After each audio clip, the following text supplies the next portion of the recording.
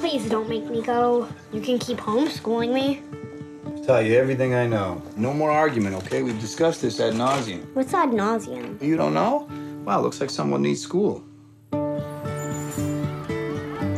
morning, Miss Stevenson. Who can tell me what 3 plus 3 is? Everyone knows it's six. Barry, can you stand up, please? Can you tell me what 57 multiplied by 135 is?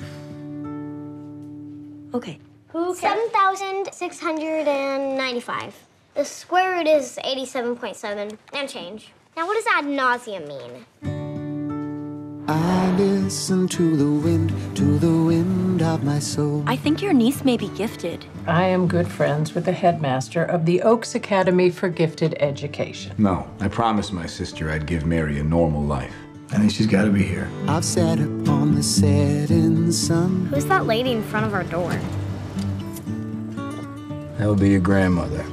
Holy It's a MacBook, darling. What are you doing here?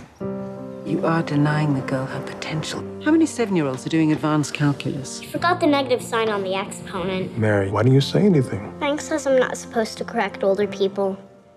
Nobody likes a smartass. We petition the court to grant my client full custody of the child. No! No! You're gonna take that girl, you're gonna loan her out to some think tank where she can talk non trivial zeros with a bunch of old Russian guys for the rest of her life. And you'd bury her under a rock. Evelyn, stop. I'm raising her how I believe Diane would have wanted. Do you need a reason we should commit treason? If anybody takes that baby away, I'll smother you in your sleep. Bring into this My sister wanted Mary to be a kid. She wanted her to have friends and to be happy. Tell us, do you have health insurance? No. Did you with spend the night in jail? Objection! and leave the valleys of What's your greatest fear? That I'll ruin Mary's life. Mary! Mary! Mary! Uh-uh! She's bossy. I've heard that. valleys of the young. He's a good person. He wanted me before I was smart.